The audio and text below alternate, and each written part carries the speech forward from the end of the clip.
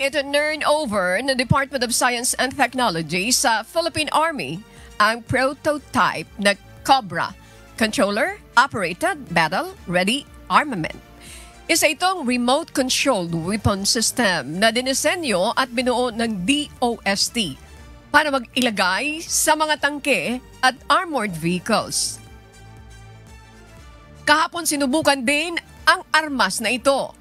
Sa layong mahigit kalahating kilometro sa pool ang target sa sunod-sunod na putok ng, eh, ng 50 caliber machine gun mula naman sa lumang Armored Personnel Carrier o APC.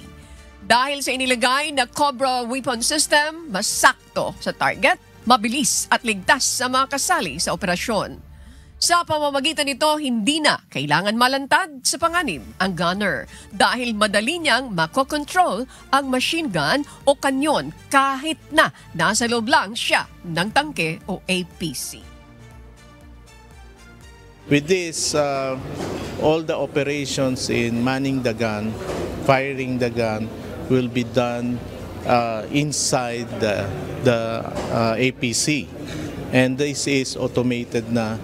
Uh, automatic siya. It will be, uh, the gunner will be held by a, a tracking uh, electro-optics. It will lock on the target and then kahit saan pumunta yung target basta within the range it will fire by uh, ano pa rin ng, ng gunner yung operation.